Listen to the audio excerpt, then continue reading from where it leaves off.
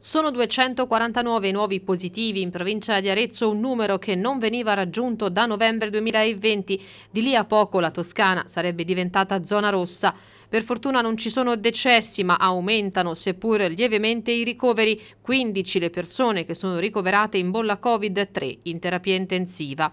A breve saranno ratificate le nuove norme decise dal governo centrale per arginare questa nuova ondata di pandemia.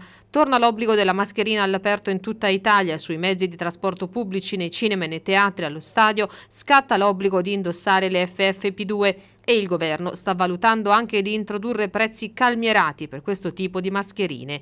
Fino al 31 gennaio estensione dell'obbligo del Green Pass rafforzato alla ristorazione al chiuso, al banco e stop, anche al consumo di cibi e bevande al chiuso in cinema, teatri e stadio. Le discoteche dovrebbero rimanere aperte a Capodanno, ma per chi ha fatto la terza dose sarà necessario l'esito di un tampone negativo. Saltano le feste e gli eventi in piazza per fine anno che implicano assembramenti all'aperto. Il divieto andrà avanti fino al 31 gennaio.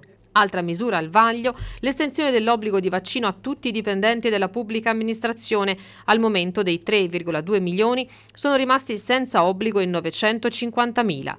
Per consentire il ritorno in classe in sicurezza alla fine delle vacanze di Natale potrebbe esserci uno screening straordinario per gli studenti. Infine, il nuovo fronte sui vaccini. AIFA ha approvato il Novavax dopo il via libera di EMA.